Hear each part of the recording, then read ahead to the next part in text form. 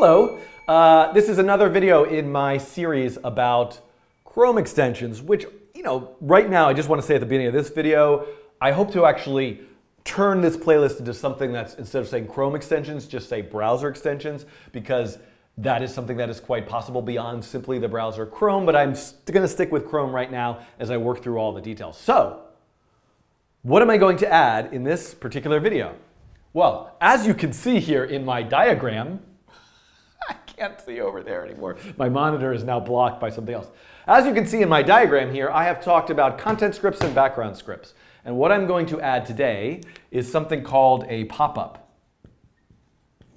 So a pop-up is a page that you can launch that's essentially like an overlay of what's what's in the browser at the certain at a certain moment and I can launch it via a browser action for example, clicking a button that I have in the top over here, I can press that button and I can have some sort of pop-up come up. So I could do things like, oh, I could have an interface where I could change colors or make selections or, or type in a word that I want to look up. I could augment the browsing experience through a separate pop-up page that is, that is part of my Chrome extension. So that's what we're going to make in this tutorial. Okay, so what I'm going to do is I'm going to start with the code that I had at the end of my background script tutorial, which uh, if we look at, and I've already made a copy of it into a new folder, which I'm calling pop-ups, uh, which you can find a link to this code for this tutorial in the description as usual. Um, and uh, what, I'm, what I have is that manifest.json file. So I've already changed it to coding train extension 3. Maybe I'll say, you know, I'll change it to coding train pop-up. Uh, it is a, the content script is available for all URLs, the background script. Now, interestingly enough, I actually don't need a background script just to have a pop-up. Like I might need a background script for something else that's going on in my extension, but I don't need it just for the pop-up. So I think just for simplicity in this particular tutorial, I'm gonna take out the background script and I'm actually going to just delete the file that is the background script. Actually, you know what? I'm gonna leave it there because eventually one thing that I'm gonna want to do is if you recall, a way that I sent a message, the way that I controlled the content script or, or made an event happen in the content script from the background script was sending a message. And actually what I'm probably going to want to do now is send a message from the pop-up to the content script. So the code that's in the background script is going to become useful for me because I can use that same code in the pop-up. All right, so but when there's a browser action, I want there to be something more. I want there to be a default uh, pop up. No, it's not written over there, what I'm supposed to type right here. I just looked over there because there was something interesting happening. I didn't put any notes over there. Uh, and I want this to be, um, now can I make that in another folder? Let's try this. What I want to try to do is make the pop-up an entire. Let's actually first just make it an HTML page. So I'm going to just call it popup.html.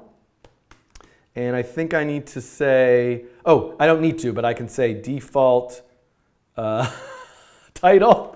And this will appear in like the tooltips, like a pop-up will come here.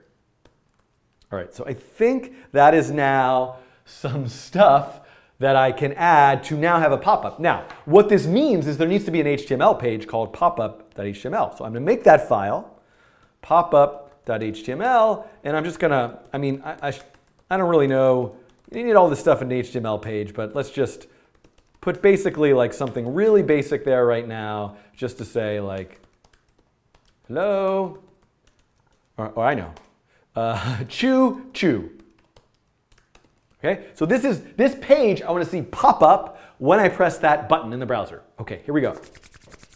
So now, uh, what do I need to do? Remember, I need to load the code. I need to load that extension, O5 pop-ups. This is the one I'm going to select, the whole folder. I'm going to hit select. No errors occurred in the loading of this extension, so it should be fine. Now I can go to any page. I just happen to be going to my coding train, I mean my Chrome extension tutorial page. So I go there. Now look, I should be able to see this button right here. This is my button. The reason why it has that image is because I included the default icon to be this PNG file. And if I click there, look at that. There's my pop-up.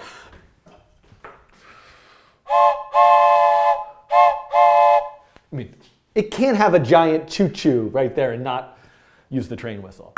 All right, so we see that the pop-ups work. Now, let's try to do something a little bit more interesting with the pop-up. Let me see if I can put an animation there or something. Let's see if I can put a whole P5 sketch there. Um, so let's try that. So what I want to do, I'm going to just work with the file system for a second. Like, let me see if I can do, I'm going to make a folder called sketch. And then what I'm going to do is I'm going to, I'm going to actually delete popup.html. We saw that that worked. I'm going to uh, pause for a second and come back in a second. And I'm back. Now, uh, what I have done in that very long amount of time, way longer than it should have taken me, is I have grabbed one of my previous examples from a coding challenge that generates a maze, and I've put all of the code for that coding challenge in a folder called Sketch. So now what I want is for the pop-up to display that example. Let's just look at that example, what that example does. I've got that example also just running here in the browser. Um, uh, let me just quickly go to that. Uh, so this is the example. It, it generates a maze using a particular algorithm that I used a long time ago in a challenge. So what I want is when I click this, um, the file's not there anymore, I want to see that maze. Okay, here we go. We're going to make this happen. So what do I do? What I have to do is, uh, this file doesn't exist anymore, I deleted it. Um, what I need to do is here, the default pop-up should be sketch slash index.html. So the question is, is that enough? If I just point to that page that's in the sketch folder, will it work or do I need to do something more to reference the different JavaScript files and libraries and things that I'm using? Let's find out. And then I'm going to change, oh, let me just show you that here. We should see, we should say uh, generate a maze. That's going to be the message, uh, the little tooltip message when you hover over the button. So I need to go and reload the Chrome extension. And it doesn't actually really matter what page I'm on, but I'm going to stick on this page. If I hover over here, you should see, right? I'm getting that generate a maze message. And then it worked. So that was actually quite easy.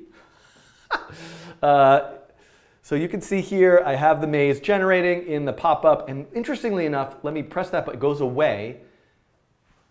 Is it going to pause and continue from where it was before? Is it going to start over? Had it already been running for a while when I first clicked it? I didn't even notice. Let's look again. Let's see. This is interesting. It started over. So notice this is very important.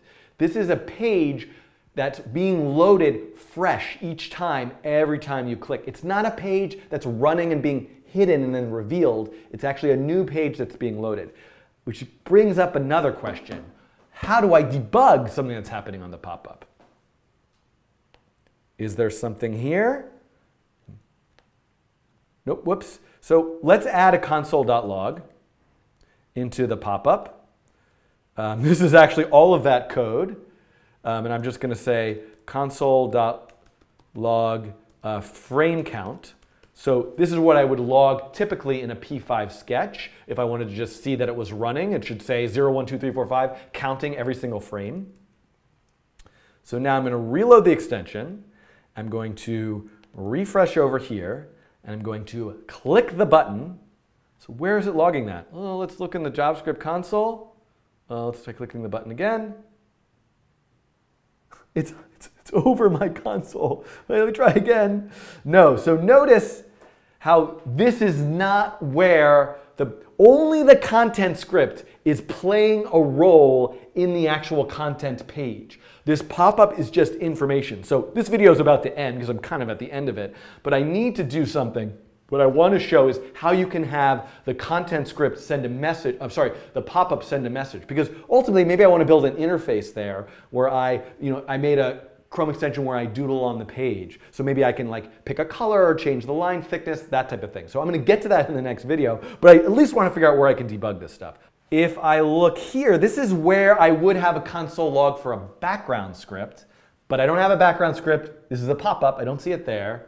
Where is it? So actually, thank you to the chat who clued me in on this. I'm going to press this button here, and I'm going to right click. And if I right click, I now see I have this option called inspect and I can select that.